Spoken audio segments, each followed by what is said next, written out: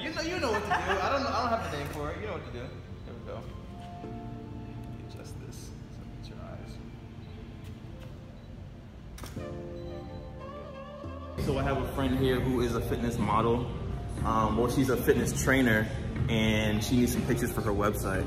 So I'm out here um, just getting some basic shots. We just did some basic, you know, portraits, but now I'm gonna actually get her doing some uh, exercises. I'm gonna start with some hit exercises we got some weights. She has a kettlebell, and I'm gonna get those action shots so her people can see like, hey, this person actually looks good, and they know what they're doing. And that's the goal. That's what we're doing. Of course. So Do You want me to look into the camera? you can look in the camera. Don't look at me.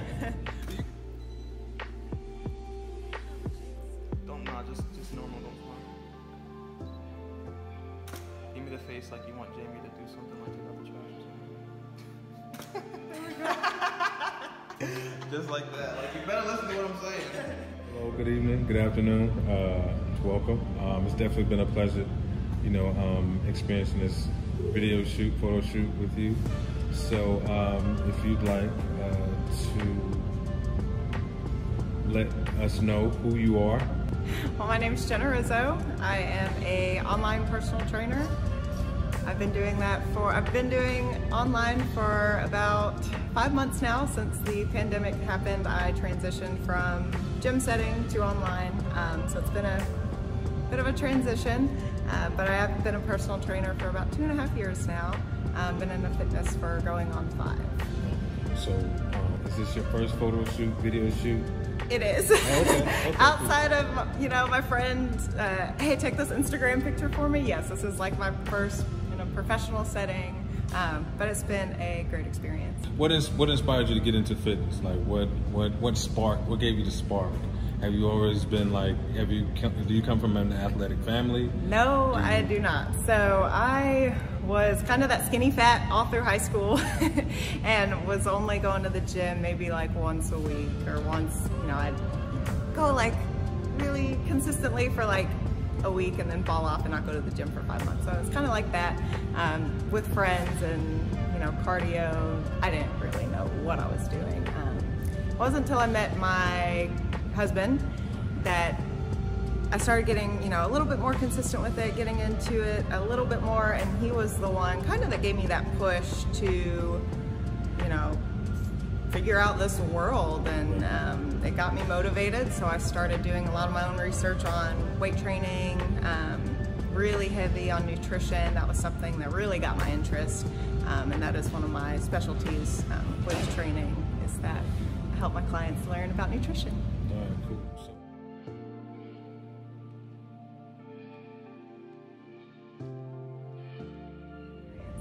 For sure. okay. So what what is the um, what is your uh, relationship? I guess how did you meet David, and what is what has been your uh, photo shoot experience with him?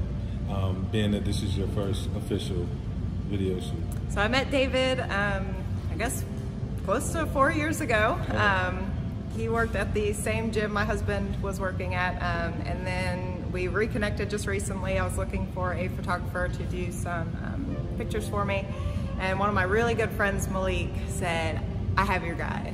Let me get him on a three-way call with you, and got it set up. But this has been a really awesome experience. David makes me feel really comfortable, um, so it's been it's been really cool.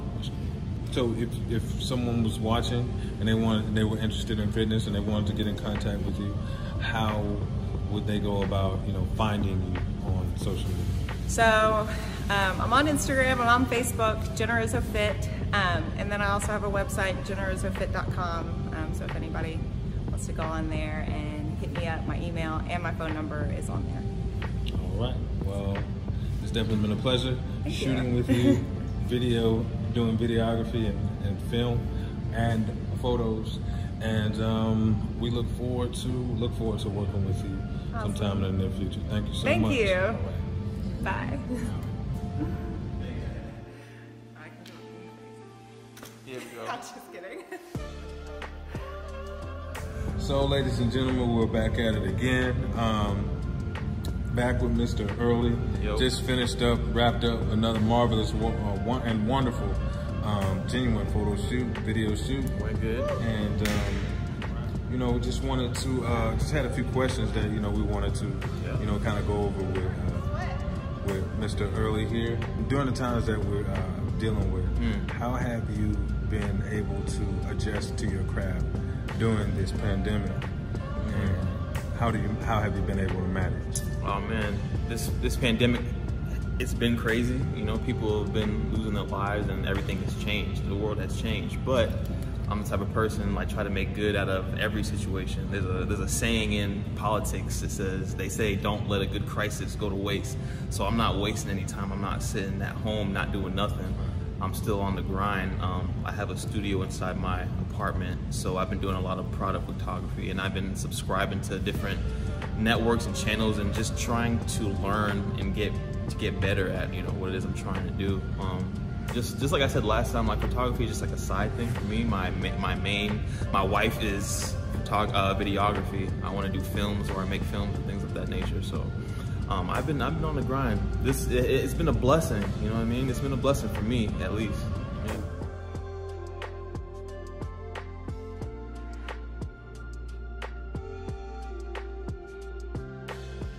So what separates you from any other videographer, photographer that may do that may be in the same? Because I'm not gonna say that you do the same thing, but Mhm. you know, like, and of course, like you don't compete, but like as far as like you all complementing one another Mhm. in your craft, what separates you from any other videography photographer that you know? That Okay, you I understand. So Yeah. what what separates me? What I would say would be two things. One will be my work ethic, because I'm just a workaholic. Um, I don't really dabble in anything else besides what I'm trying to uh, accomplish. So I, so I don't go out to the club, don't go out to eat. I can sit down and I can focus for long periods of time, and um, I can you know work 14, 15 hours a day just out on one thing. Um, I'd say that gives me like a competitive edge over a lot of other people, even though we're not in competition. But um, that's just a trait that I feel um, pushes me a little higher above some some people. Another thing is um, I feel like a lot of people associate like social media with real life, so they live on social media even though it doesn't reflect what they're going through in their reality. And me, I try to keep a balanced perspective, so I don't. Everything that I do is not on social media. I don't, I'm really big on privacy and things of that nature. So it's like, I don't post a lot. I'm not on social media a lot doing a bunch of stuff. My goal isn't to get a bunch of followers.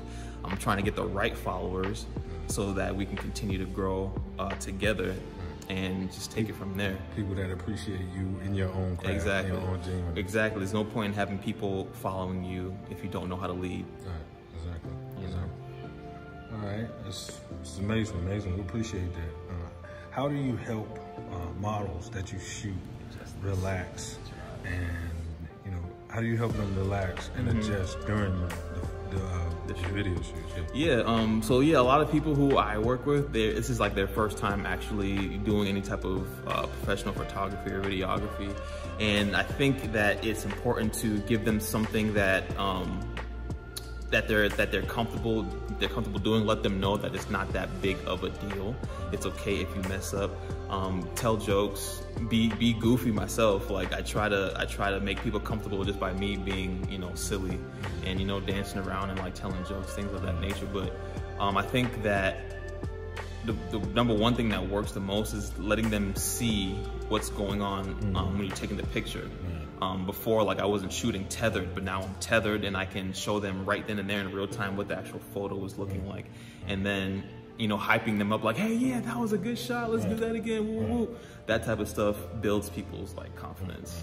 Um, and I think, yeah, that, If, they, that if they're able, if they're able to be involved, then it makes them more relaxed. Right. They get to see, Yeah. instead of just being like a robot.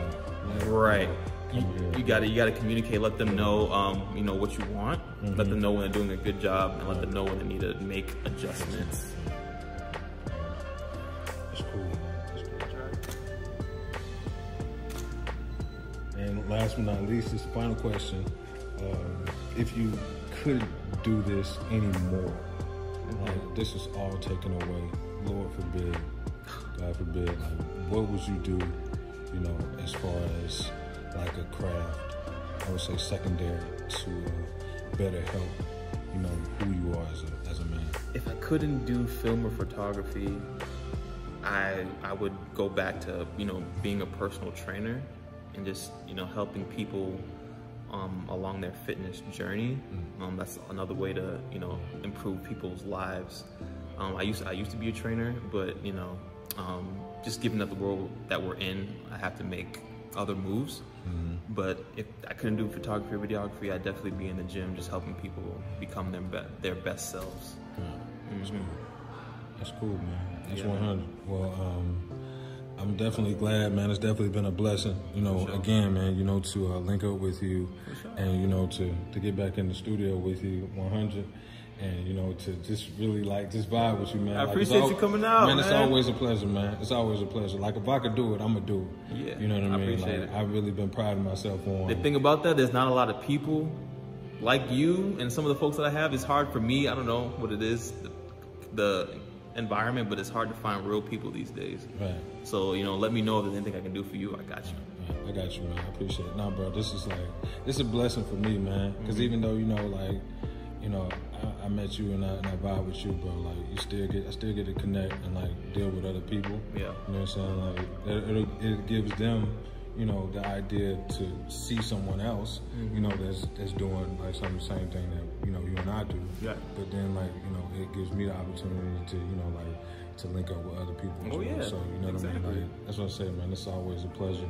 It's always keep a building, man. Yeah, man. I love keep building. It. Oh, you already We're gonna keep building. It's always good. For sure. So, um, ladies and gentlemen, this is actually, you know, um, the last like, well, this is like a wrap, you know, wrap. um, from uh, the, the photo shoot, the video shoot mm -hmm. with uh, Jenna Rizzo. Yep. And um, David Earley. Yep. It's definitely a pleasure to be back in here again, and we thank you all for watching this presentation, audiography, videography, photo shoot. whatever you call it, man. Whatever we say, whatever we shoot. Work. And we just, exactly. It's called work. And we appreciate you all, so stay tuned. Until next time.